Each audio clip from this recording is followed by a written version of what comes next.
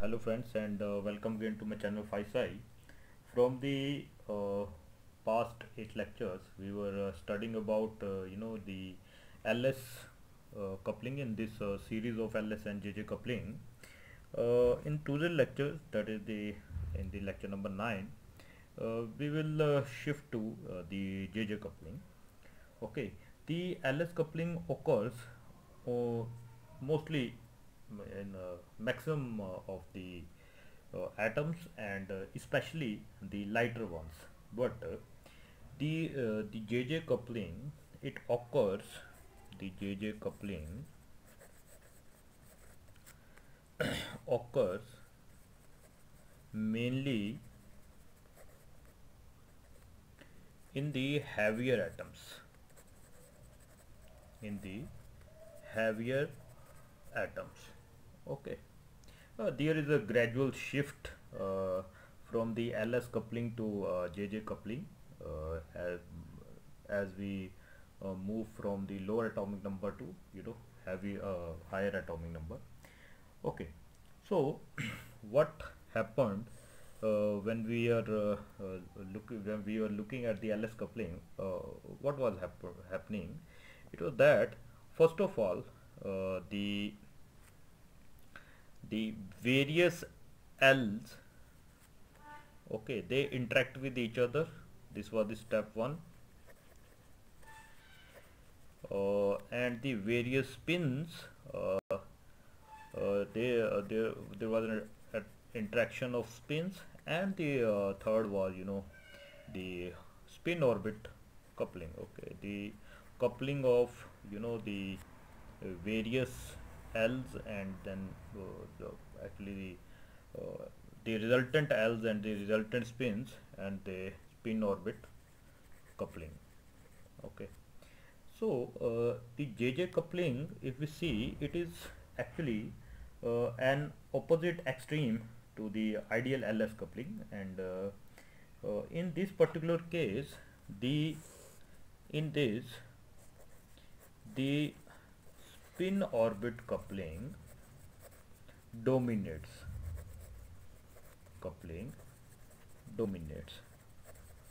It means that there is no interaction of various L's or various S but uh, you know uh, we, we, we, will see that uh, there is no interaction between the various L's and various S but actually there is a interaction there is an interaction between the spin and the you know the uh, angular uh, quantum number the angular uh, uh momentum and uh, due to which we have this you know JJ coupling. Okay. So let us see what are the steps. In step 1 there is a there is an spin orbit interaction there is an spin orbit interaction. What happens in this? Okay. In this as because I have already told you that the spin orbit coupling dominates. So due to the domination of uh, or we can say the strong stronger uh, the stronger spin orbit interaction the orbital and spin mag, uh, spin angular momentum vectors of individual electrons are strongly coupled to form the resultant angular momentum vector. Okay. So I'll write it due to the stronger spin orbit coupling. The the orbital and the spin angular momentum interacts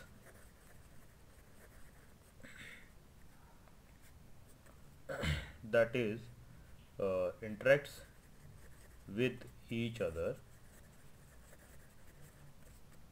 That is that is for individual individual electrons. Okay. So the, the uh, so this coupling is uh, you know uh, more than the uh, coupling between various cells and various cells. So uh, due to this interaction okay so we have so we have a resultant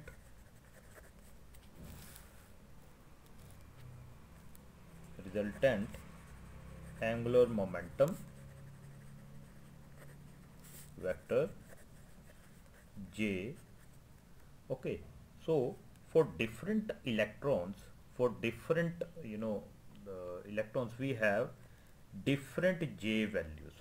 Okay so if if if i take an individual electron for that particular electron suppose we have a L value and we have a S value so they will interact individually. Okay let's say we have the uh, ith electron and that for the, the ith electron we will have this thing.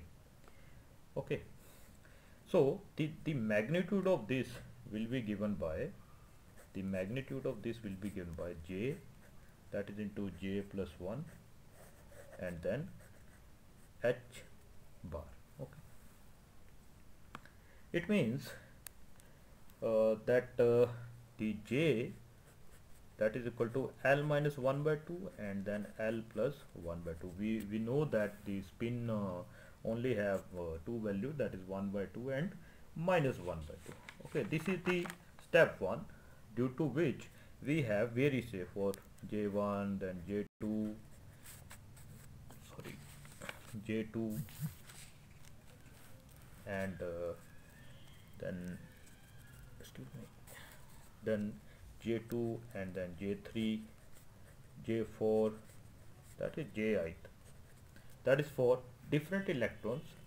We have to combine the combine the orbital angular momentum and the spin angular momentum okay this is the step number one. Okay let's see this step number two. This was the step one this step two okay. In the step two now we have various j values and these j values now they can uh, you know interact with each other to form a bigger j value that is the resultant j value that is called capital J. Okay. So as a resultant uh, of uh, you know radial interaction the we have uh, uh individual uh, so uh, I should write it down okay. The various J's of the individual electrons of the individual electrons are coupled to uh, each other to form the total angular momentum to form the total angular momentum. Okay and that angular momentum will be capital J. And the magnitude of this capital J vector will be J into J plus 1 under root and then H bar. Okay. And the values of J's that should be from J plus J1 plus J2 and so on to to j1 minus j2 and so on. Okay. So the values will go from this so these are the two steps in the jj coupling.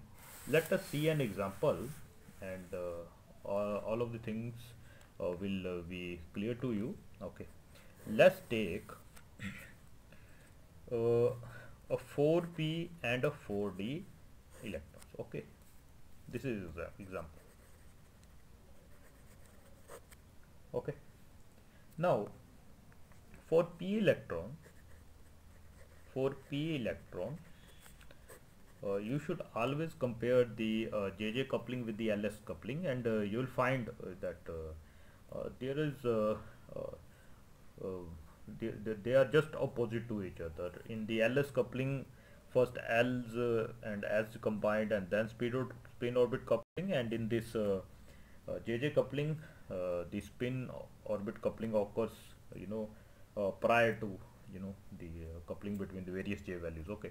For the p electron we have let's say it is the first electron and then for it the l value is 1 and the s value is 1 by 2 okay. Now for this the j values will be from l1 plus s1 to l1 minus s1 okay. So uh, l1 minus s1 it will become 1 by 2 and L1 plus S1 it will become 3 by 2 okay? This is for uh, let's say this is first. I'll name it first. And uh, then we have this d electron. And for d electron we know that L is equal to 2 and the spin is again S2 okay? Then the possible J values will be 2 minus 1 by 2 that is equal to 3 by 2 and uh, 2 plus 1 is 5 by 2 okay? Say it 2 now this is uh, okay. Now uh, uh, we have we have actually done the step 1 step 1 uh, uh, has been done okay? Now this step 2 this was the step 1 okay now in this step 2 these j values will combine okay? Let us see uh, how many pairs we can create we uh, okay? So we have first of all we have 1 by 2 and 3 by 2 and then 1 by 2 with this 5 by 2 then 3 by 2 with this 3 by 2 and uh, we have this 3 by 2 and 5 by 2 okay uh, these are the possible uh, j values uh, uh that, that we can uh, that we can get by combining j's okay. Now the above these various j's values we should combine them to form the capital j values okay. Let us see the pair one that is 1 by 2 and 3 by 2 so the value of j's that will go uh, remember uh, these are for different electrons that why that's why I've combined these uh, these uh, uh, these values okay to find the various values of j. And now we have these pairs. So the possible j value will be 3 by 2 minus 1 by 2 to 3 by 2 plus 1 by 2 and the value will become uh, the capital J is equal to 1 okay 3 by 2 minus 1 is 1 and 3 by 2 plus uh, 3 by 2 plus 1 by 2 that is 2 okay uh, let's take the second.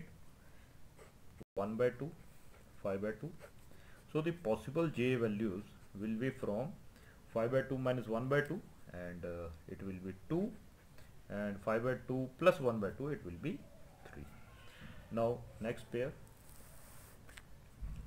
3 by 2 and 3 by 2 this pair we have 3 by 2 minus 3 by 2 and that will be equal to 0 and 3 by 2 plus 3 by 2 that will be 3 and the values between them by adding 1 0 and then 1 and then 2 and then 3 these are the possible values now the last one that is 3 by 2 and 5 by 2 the values will be 5 by 2 minus 3 by 2 is you know it is equal to 1 and 5 by 5 by 2 plus 3 by 2 it will equal to 4 and the values between them by adding 1 so we can see that these are the possible j values for this 4p and 4d electrons. We can also say that after uh, the JJ coupling that is we already know for the heavier atoms the two energy levels that is this energy state will be split into how many states 1 2 3 4 5 6 7 8 9 10 11 and 12 so we will have the 12 components okay. We will have the 12 components. Okay.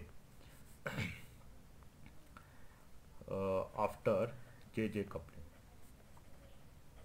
That is for the uh, 4p and 4d electrons. Okay. So uh, uh, one thing I want to uh, uh, say you that the pure JJ coupling it you know it occurs relatively very seldom okay? So in fact there is a there is a I already told you that there is a gradual shift from the LS coupling uh, you know for uh, uh, that is for lighter atoms to the JJ coupling that is for the heavier atoms. The in between uh, you know if we see in the periodic table the in between uh, atoms uh, that is for the uh, fourth group elements we can say the carbon the silicon germanium okay they are semiconductors. Uh, the, uh, the, we can see the transitions in the levels of these groups okay. So but we can say that for small atoms JJ uh, coupling holds and for heavier atoms oh sorry the for uh, small atoms lighter atoms uh, LS coupling holds and for heavier atoms JJ coupling holds okay? And yeah, we can see that JJ coupling is you know relatively it is uh, easier uh, to find the you know component uh, for JJ coupling rather than the LS coupling. Uh, as you can see that I have I, I have to uh, make around 8 lectures to uh, teach you about uh, the LS coupling but uh, you have seen that uh, this the, this is just a single lecture or you can study in the next lecture and the JJ coupling will be finished. Okay. So uh, in the next lecture uh, friends uh, we'll study about the selection rules in JJ coupling and from then onwards we will do some very important questions and problems okay related to LS and JJ coupling. So till then goodbye